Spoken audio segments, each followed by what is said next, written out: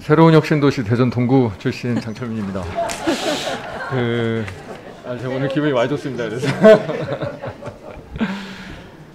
그, 아까 뭐 우리 이스타 건 관련해서 체불임금 이야기도 나오고 뭐 재단금 너무 적다 이런 말씀도 하셨는데 그래도 그 얘기 가다히 드리고 가고 싶습니다. 저희, 제가 그래서 그 재직자 부분까지 확대하고 우리 체불임금 이 차단금 제도 확대하는 임금채권보장법을 발의를 해놓은 상황이고 아마도 우리가 재직자 부분 확대하고 여러 가지 이 차단금 개- 제도를 훨씬 더 개편을 한다면 고용노동부가 가지고 있는 이 문제에 대한 역할이나 개입 권한 같은 것도 훨씬 크지 않을까.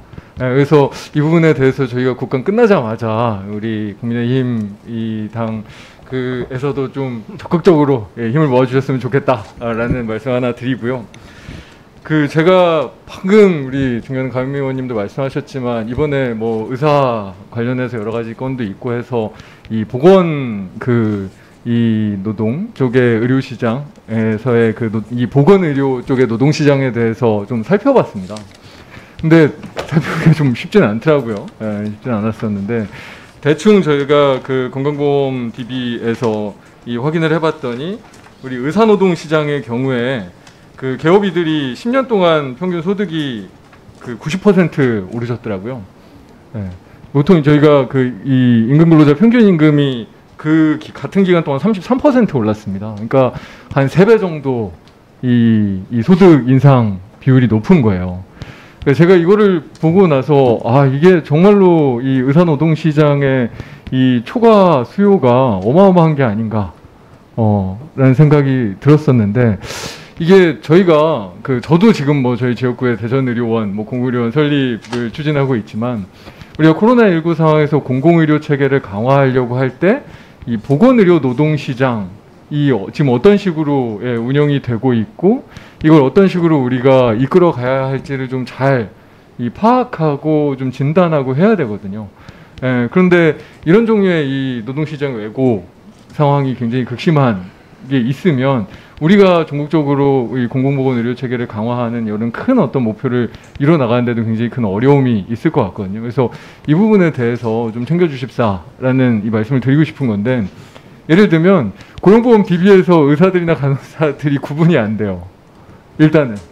예, 그래가지고 지금 이게 이, 이, 이 업계 공공의료나 뭐 그 이 의사 뭐 보건 시, 이 노동 시장에 종사하는 분들의 소득 뭐 임금 근로시간 이런 부분들이 지금 체크가 안 되고 있습니다. 이제 고용보험 DB상에서 이 고용노동부가 파악하는 한에서 그래서 이런 부분들을 좀 챙겨 주실 수 있도록 좀 이 제도 개선책을 마련해 주십사 하는 이, 이 제안을 하나 드리고요.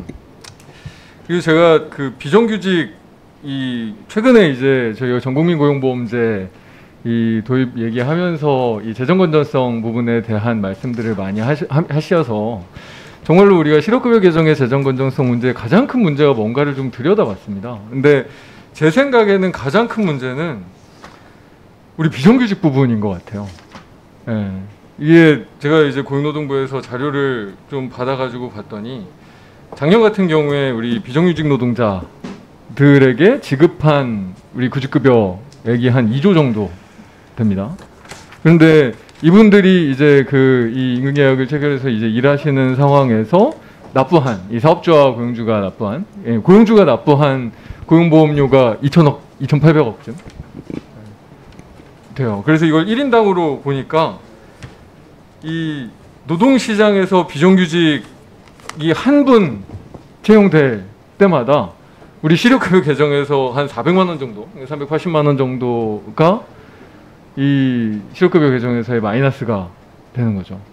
그러니까 노동시장에서 사업주들이 여러 가지 필요에 의해서 비정규직을 활용하는데 그거에 대한 부담은 지금 우리 고용보험기금에서 충당을 하는.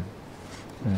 이게 어떤 의미에서는 사업주들이 치러야 될 비용을 외부화해서 그 외부화된 비용을 국가나 이런 시스템이 치러주고 있는 건데 제가 이 플랫폼 노동 같은 우리가 앞으로 이제 이 전국민 고용보험제를 확대해 나가면서 고려해야 될 이 뭐 여러 가지 이제 다양한 비정형 노동 형태의 경우에도 실제로 이런 여러 가지 사업주가 치러야 될 비용을 외부하고 그 외부화된 비용을 우리 사회가 우리 국가나 아니면 이런 시스템에서 치러야 되는 게 어떻게 보면 전국민 고용보험제로 우리가 확대해 나가는 이 고용 안전망과 사회 안전망 자체를 확대해 나가는 데서 가장 큰 걸림돌이 아닌가라는 생각이 들거든요.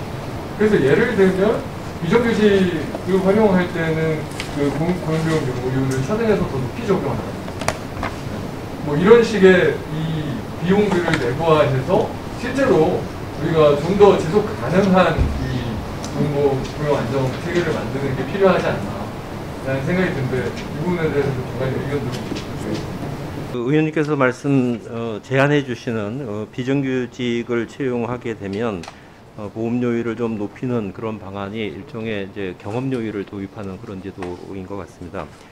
어, 이- 만약에 그렇게 된다고 한다면 기금 재정에는 좀 어, 긍정적인 효과가 있을 수 있, 있다고 생각하는데 문제는 우리나라의 대부분의 비정규직이 영세사업주들이 고용 영세사업장에서 고용되고 있어서 어, 이렇게 되게 되면 이제 영세 사업주들이 좀 비용이 증가하는 그런 또 어, 반대 측면이 또 하나 있습니다. 어, 그래서 이 분야에 대해서는 좀 어, 그런 면까지 좀 면밀 연- 양쪽을 다 봐야 되는 거 아닌가 하는 생각이 들어서 한번 검토해 보도록 하겠습니다.